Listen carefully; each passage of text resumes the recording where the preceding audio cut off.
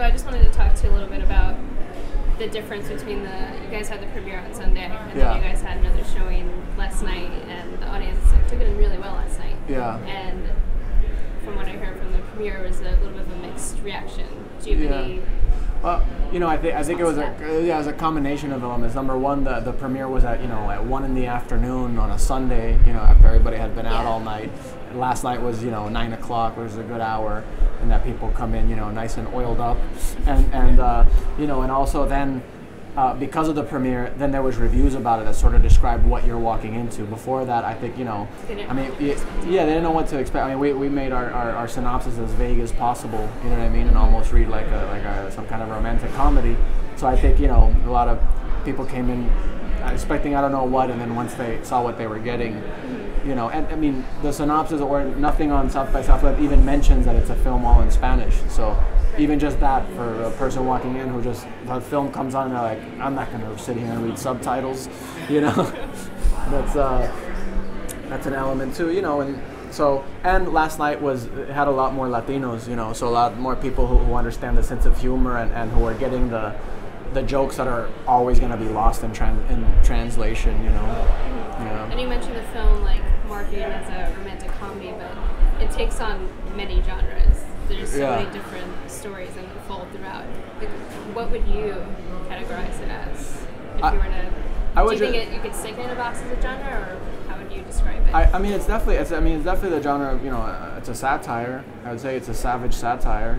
You know, it's an extremely dark comedy, but it's it's still. You know, it's taking on uh, heavy themes, but you know, doing them through through humor and through irony. Because if you made a film, you know, I keep getting asked that why satire, why satire. It's like if you make a film about these type of themes without comedy, without that balance, then it's just like it's just a mean film. You know what I mean? It's just altogether mean and dismal and like just bleak, and like that's not that's not my take on life. Like, yeah, you know, it's a crazy world we live in and everything else, but there's, you know, there's beauty too, and there's humor, and there, you know what I mean. And even the most depressed person finds something to laugh about, even if it's someone else's misfortune. you know? I mean, one element of the film that really made it, you know, this bright emotion, aside from all the dark elements that are going on, is the music. Right. What was like? Can you talk a little bit about? Yeah, you know, same thing. Sort of wanted to juxtapose all the heavy imagery, and, and you know, and, and that also made it clear that it's irony and that it's satire, you know, and and uh, and just a good juxtaposition of, of lighthearted music, you know, to, to to to remind you what you're looking at and why you're looking at it, you know, if if you know if you can humor the idea, you know, and, and there's people who walk out and that's cool too. Like I'm not I'm not trying to you know sort of jargon amongst filmmakers and musicians. You'll often hear them say like going into a festival or going into play in a town, they'll be like, "We're gonna rule this town. We're gonna slay. We're gonna." They talk like this, you know. Is it? That's not my scene. Like I, I'm not here to dominate anything or rule anything. Like you know, I'm, I'm, I'm here to open a, a you know a conversation up. You know, and, and so it's someone's perfectly God-given right to not to want to be part of that conversation. You know, just like I can decide what conversations I want to be a part of. You know, so so when you take out you know sort of conquest and colonial mentality out of it, then it just becomes a whole different thing, and you can enjoy it a lot better. You know. And the main conversation I wanted to have with you about the film that I took back was the commentary on the male psyche. So Yeah. I thought it'd be really great if you could talk a little bit about, you know, The male psyche. Um, I, I, I think uh, with the know- limited time that we have. yeah. Okay, then I'll make it short. Uh, a, a wonderful feminist once said, "E- "Every man is a potential rapist." So you know, the, point being that you, you have to talk in very specific and bold colors in order to get anyone to actually listen to what you're saying. And so, like from the moment you're from the moment we're born, well, the very first issue is whether your mother loves you or not. So as you're as you're in your mother's stomach, you feel whether or not she wanted this baby or whether she loves this baby or not. The second one, when you come out, is when the doctor says it's a girl or it's a boy. That's already like a whole slew of like social implications, you know, and things that are just placed on us by, you know, by again by conquest, by by by this slave mentality, you know, uh, uh, that was put here by, you know, we by by men and by male. You know, all our doctrine is given to us by males. You know, even um, even wonderful. Uh, beautiful poetic books like uh, the, like the Quran, the Kybalion, the Bible. You know, they, they were all passed down through oral tradition by men, put down to ink by men, with men looking over those other men's shoulders, and they don't have the, the, the woman in mind at all.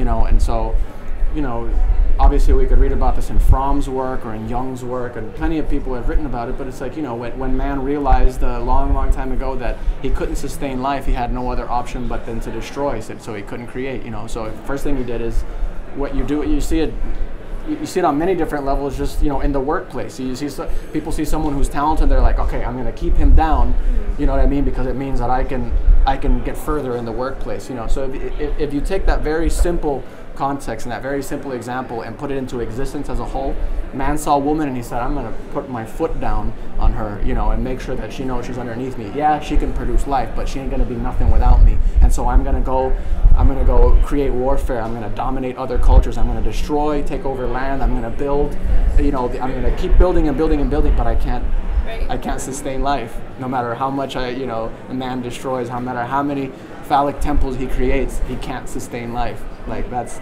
that is all will always eat at the psyche of man, and, and, and is the cause, you know, one of many causes, you know, for for exploitation, you know, exploitation of women. I mean, we, this is the society we live in. Anyone who wants to deny themselves of that, just look at advertising. You know, I have to make a conscious effort not to not to um, not to be, be aware of advertising, like as soon, because your eyes just go to it and they stick there. And I make a conscious effort when I go anywhere, especially in metropolis, big city, is like to, to, to be focused in the real world and to not look up at advertising.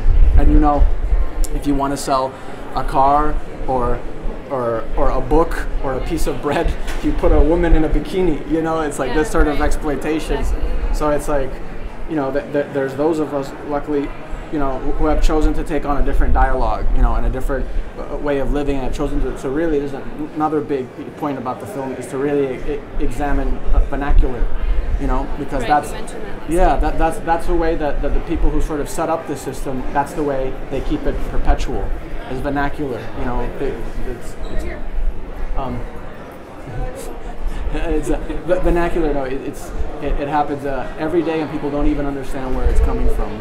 Was that your main inspiration behind behind the film? Uh, yeah, my main inspiration will be my mother. You know, yeah, my main my main inspiration is my mother. Uh, the very first line of the film that I wrote, which didn't make it to the film, but we put on the poster, is "El que no critica su cultura no ama su madre," which means if you don't critique your culture, you don't love your mother. You know, so so for me, that's the that's the that was the, the biggest inspiration. Second to that is uh, my favorite uh, Albert Einstein quote, which is, uh, "If you want your children to to be smart, read them fairy tales. If you want them to be even smarter, you read them more fairy tales." So, That's interesting. Oh. And your mom's seen the film.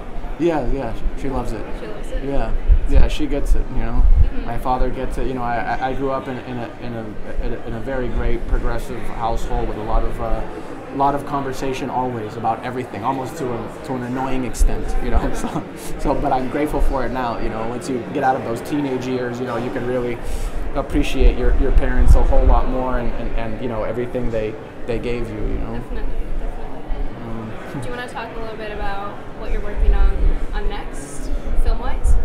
Oh, sure. Yeah, we're, we're working on, on, on a script now. Hopefully, that will get made uh, in, in, in the fall called uh, Nino y Esperanza, Nino and Esperanza. Um, it's uh, I, I wanted to write a, a t- a typical Barrio film, and uh, and then sort of take it and, and flip it on its head and, and uh, just sort of do it my way. So that, that's you know that's about as the best explanation I could give about that right you know, now. I asked because I, I saw your previous film, Sentimental Engine Slayer, and then Yeah. going into this last night, it's two totally different films, and I, I love that because it shows how much strength you have as a director and the different visions you have. But they they do also tackle the same ideas at the the same, same, uh, time. yeah. So Yeah, uh, a- anything I. Uh, thank you, first of all, for the compliment. And, and then uh, what I want to add is just, uh, you know, definitely like that's what I try to explain to people who go to the film is like, hey, this was this was one color, this was one mood. You know, my other films, our other films aren't like that. You know, they're, they're all different. Although in saying that, every expressive person has con- conceptual continuity. The, the themes are the same. You know why? Because I'm my mother's son, and because I've lived life through through her eyes and through my eyes and through my my placement in soc- in society. You know, and so therefore the themes, the questions that I have, uh, you know, and the things that I'm I'm bringing into discussion are always going to be the same, and they're just going to be they're just going to use different colors. You know, because. It, you know, we all know the cliche saying, you know, every every answer just leads you to more questions and more questions. So it's, you know, I don't know that there's an end to that, you know, but uh, but I have to find something to do with my time. So Yeah, so that's you know. Yeah. And I just one more question. I just want to ask who who your influences are as far as on making these films, because both of the films have time period pieces. Too. Yeah. Um, geez, yeah. My influence, again, my influences, my biggest influence would be, would be my, my, my parents, without a doubt, and then people like, like Einstein or people like Frederick Douglass, you know, um, or Elijah P. Lovejoy, you know, who, who printed the first abolitionist uh, newspaper, um, and and just sort of in general, or, or you know, to, to, be to be have something more tangible uh, as like directors or something. It would be someone like Fassbinder, you know, this this uh, this this overweight homosexual in Germany in, in post-war Germany, you know, making films about things that mattered to him, you know, and so I, I just think that uh, for, for me the path is uh, uh, per- personal. It has to be personal. There, there's two paths that you could take as an expressive person, and both are completely valid. Uh, there, there's the personal path, and there's entertainment, you know, and so and some people achieve a very hard thing, which is a perfect balance of both. Sure. You know, I, I, I, I don't have the skills to do that yet. Maybe one day, yes, but right now my path is that of, of you know of, of, of the pers- personal expression, and, and anything that gets in the way of that, I have to treat like a dagger pointed at my heart. You know? I appreciate that. Yeah. Cool. Cool. Thanks. I guess that's yeah, that's about it. Unless you wanted to, to touch on anything else. Oh no, that's. If you have any questions, yeah, I just. I'm like a puppet. If there's a question, then I can pull the string and then something comes out. But left to my own devices, I just like, okay, yeah. Do you want to touch like I mean just like for bonus like extra footage, um, totally separate like as far as music and you're reuniting and playing Coachella. Do you want to talk a little bit about that? Like, are you excited to be? Um, yeah, it's cool. Yeah. You know, it's cool. Yeah. Again, it's a, a process is the most important thing, and so like that, that music is a is a byproduct of the chemistry between those five people. You know, between me and those four guys, and those guys and me, and and like uh you know, that's the music really is our is our interpersonal relationships. Again, like everything has to be personal. Sure. If not, it just it just isn't worth my time. Okay. You know what I mean? It, it would be like me doing this interview and not looking at you in the eyes, just like looking at the camera the whole time while I do it. You know what I mean? Like which some people do. You've seen the interview I've- I've so some people do that. Yeah. So like everything ha- has to be personal. You know. So like that's exciting because it's a relationship that I get to, to revisit through through through hopefully much more mature eyes. You know, because Yeah. this was 11 years ago now.